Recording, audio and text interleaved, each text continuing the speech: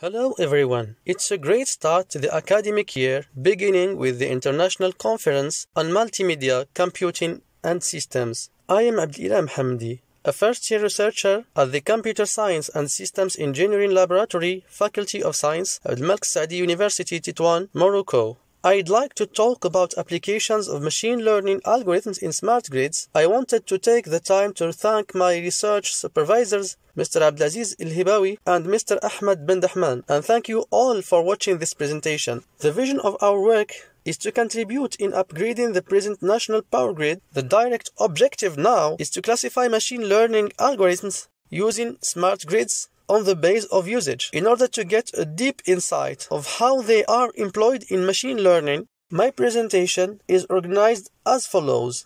Introduction will present some of the main objectives achievements and opportunities of Moroccan energy policy than the problems of the current aging grid. Next, we present the solutions and advantages of smart grid. Before moving on to the results of this work, we will give a brief presentation of the principles and strategies and types of machine learning. After, we present some of the applications of different algorithms to achieve a variety of objectives. Lastly, we summarize and conclude this presentation. So let's start. The development of national renewable energy sources is one of the priorities of the national energy policy, the main axes of which are strengthening the security of energy supply through the diversification of sources and resources, the optimization of the energy balance, and the control of capacity planning generalized access to energy through the availability of modern energy for all sections of the population and at competitive prices. The graph below shows the great achievement in rural electrification with a percentage 99.72% by the year 2019. Sustainable development through the promotion of renewable energies to strengthen the competitiveness of the country's productive sectors, the preservation of the environment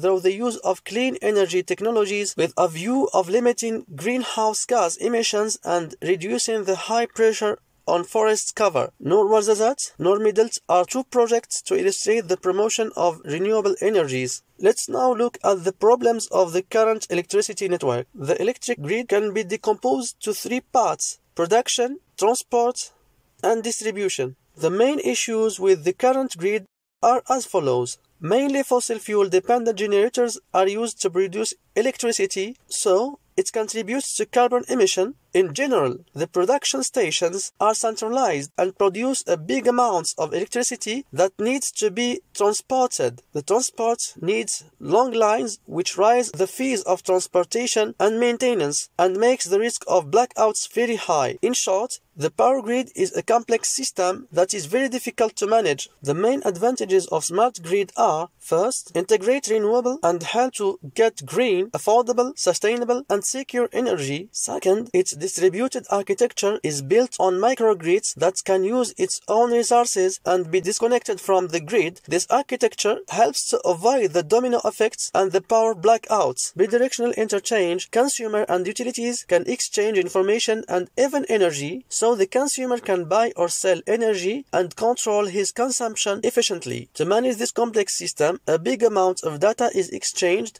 and need to be processed in efficient way to respond to the requirements of producers, utilities, and consumers. Here come the role of machine learning. Let's move on to present some of its essential concepts and strategies. The main types of machine learning are supervised machine learning, unsupervised machine learning, reinforcement machine learning. Some of the methods of machine learning are regression, classification, clustering, and so on. Now, let's move on and present the classes based on utilization found in studied papers. We have based the classification on the main objective achieved by the algorithm.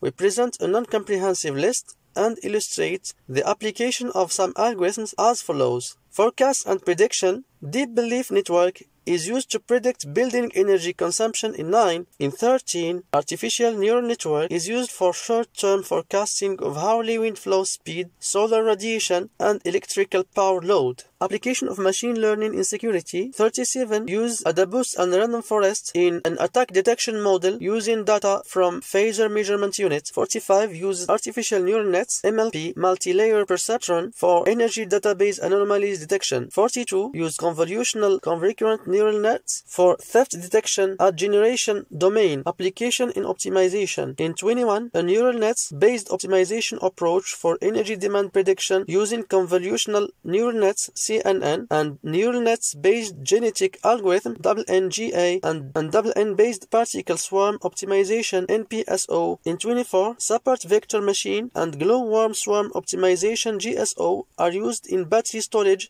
in order to reduce electricity tariff. Other algorithms are used in different tasks, for instance, customer profile identification, pricing, distribution, etc. Let's take an overview of what we said. This table gives the big picture of what we have done. It shows machine learning techniques used in smart grids. Let's summarize what we have done.